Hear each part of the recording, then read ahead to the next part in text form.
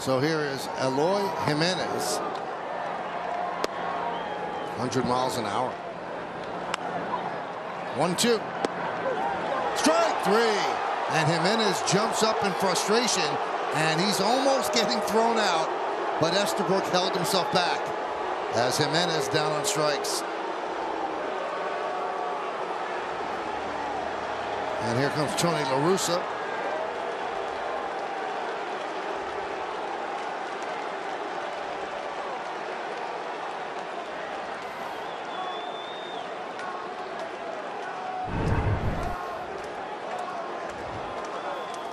I'll tell you what, it is a quality pitch. It could go either way, but boy, the Yankees got the call.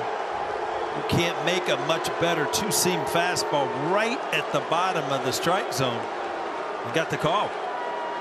And they have thrown out Tony La Russa. He came out to protect his player, and then obviously if you argue balls and strikes, you're going to get thrown out. The standard here is if you stand up for your player, that's fine. Even a minor thing about the strike, okay, but as soon as you start saying multiple strikes, multiple pitches, multiple at bats, you're going to get tossed. The player right here, Estabrook, almost did it, but didn't. So the player went back to the dugout, no problem. La Russa came out, decided to loiter for a little while, and went a step too far and got tossed.